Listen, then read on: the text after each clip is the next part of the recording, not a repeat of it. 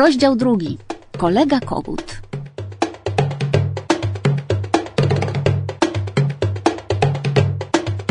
Wnętrze minibusa najłatwiej będzie porównać do puszki z sardynkami, które wypełniają ją zawsze tak szczelnie, jakby producent zmagał się z nieustannym nadmiarem ryb, usiłując je na siłę wcisnąć do każdego opakowania.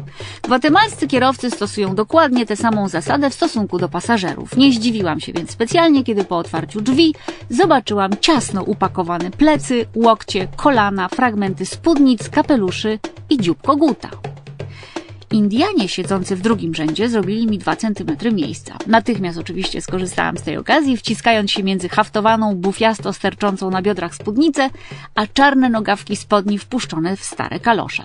Chwilowo straciłam kontakt z moją głową, która wylądowała w okolicach trzeciego rzędu pasażerów, tam gdzie podróżował kogut. Miałam na nosie zresztą jego nieco oklapnięty grzebień, z czego zresztą początkowo żadne z nas nie zdawało sobie sprawy. Kiedy udało mi się zmieścić wszystkie nogi i ręce wewnątrz samochodu i upewniłam się, że posiadam wciąż pewien kontakt z pozostałymi częściami mojego ciała, kierowca nadepnął na pedał gazu.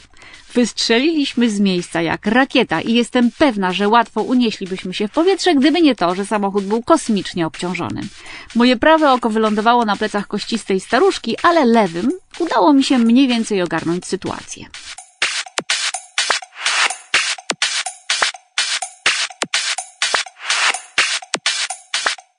W minibusie znajdowały się trzy rzędy siedzeń. W pierwszym były trzy fotele, w pozostałych po cztery. Daje to teoretycznie liczbę 11 pasażerów, co w Gwatemali łatwo daje się pomnożyć przez 3, przez 5, a nawet przez 10, jeżeli zajdzie taka potrzeba.